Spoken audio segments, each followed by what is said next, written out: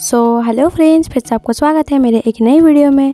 तो फ्रेंड्स, आज के वीडियो में मैं आपको बताने वाली हूँ कि अगर आपके पास वन प्लस का मोबाइल है या फिर वन प्लस का कोई भी मॉडल का मोबाइल है तो आप उसमें अपना नोटिफिकेशन साउंड को कैसे चेंज करोगे? तो फ्रेंड्स, अगर आप चाहते हो कि आप अपना नोटिफिकेशन साउंड को चेंज करना है तो कैसे करोगे? इसके बारे में मैं आपको डिटेल्स में बताऊँगी। तो फ्रेंड्स, वीडियो को लास्ट तक ज़रूर देखिए और अगर आप इस चैनल में नए हैं तो चैनल को सब्सक्राइब कर दीजिए, साथ में बेलाइकन को प्रेस कर दीजिए ताकि मेरा हर यूट्यूब वीडियो का नोटिफिकेशन सबसे पहले आप तक पहुँच सके। चलिए फ्रेंड्स, वीडियो को स्टार्ट करते हैं। इसके लिए फ्रेंड्स आपको सबसे पहले सेटिंग को ओपन कर लेना है। जैसे सेटिंग को ओपन करोगे फ्रेंड तो आपके सामने कुछ इस तरह का नया पेज ओपन हो जाएगा। उसके बाद फ्रेंड्स आपको क्या करना है, यहाँ पे एक ऑप्शन देखने को मिल जाता है साउंड एंड वाइब्रेशन तो फ्रेंड्स आपको इस साउंड एंड वाइब्रेशन वाले ऑप्शन में सिंपली क्लिक करना है। जैसे क्लिक करोगे फ्रेंड तो इस तरह का नया पेज आएगा। यहाँ पे फ्रेंड्स साउंड से रिलेटेड ऑल ऑप्शन आपको देखने को मिल जाता है।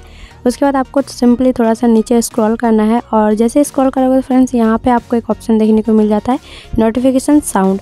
तो फ्रेंड्स, आपको क्या करना है, यहाँ पे नोटिफिकेशन साउंड वाले ऑप्शन में क्लिक करना है और फ्रेंड, आप देख सकते हो यहाँ पे आपको बहुत सारा ऑप्शन देखने को मिल जाता है।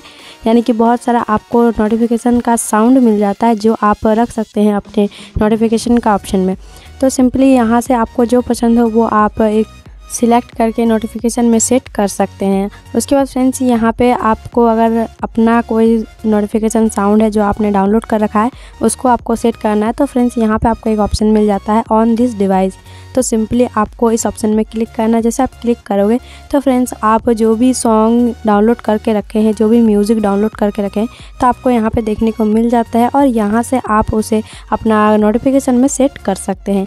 और फ्रेंड्स अगर आपको कोई डाउनलोड नहीं किया हुआ है, फिर भी आपको चेंज करना है तो सिस्टम से आपको यहाँ पर मिल जाता है, जो आप अपना हिसाब से चूज़ कर लीजिए और यहाँ से आप सिलेक्ट करके अपना नोटिफिकेशन में सेट कर सकते हैं। तो यहाँ से किसी को भी आप सिलेक्ट कर सकते हैं, बहुत सारा ऑप्शन आपको मिल जाता है। तो मैं यहाँ पर सिंपली आपको एक दिखा देती हूँ। यहाँ पे नीचे वाला हम सिलेक्ट कर लेते हैं। ये वाला अच्छा लगता है। तो आपको सुनाई नहीं देगा क्योंकि म्यूट में है।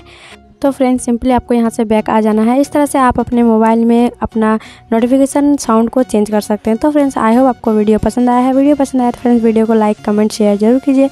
मिलते हैं आपके साथ ऐसे ही नेक्स्ट वीडियो में। तब तक के लिए बाय बाय